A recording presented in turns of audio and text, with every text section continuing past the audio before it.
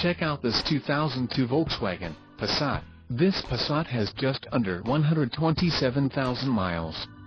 This vehicle gets an estimated 19 miles per gallon in the city, and an estimated 26 on the highway.